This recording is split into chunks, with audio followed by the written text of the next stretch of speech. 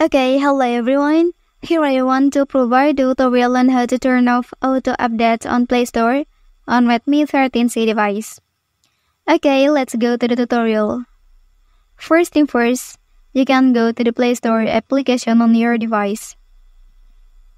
Okay, and then here you can tap on profile icon. After that, you can select settings option and then in this section, you can select network preference. Well, and then please click on the second option here. After that, here you can just tap Don't Auto Update Apps. Okay, and then the auto update on Play Store is successfully turned off.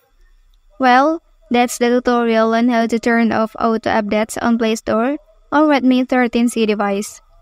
If you are helped by this video, don't forget to like and subscribe to get other information from this channel. Thank you.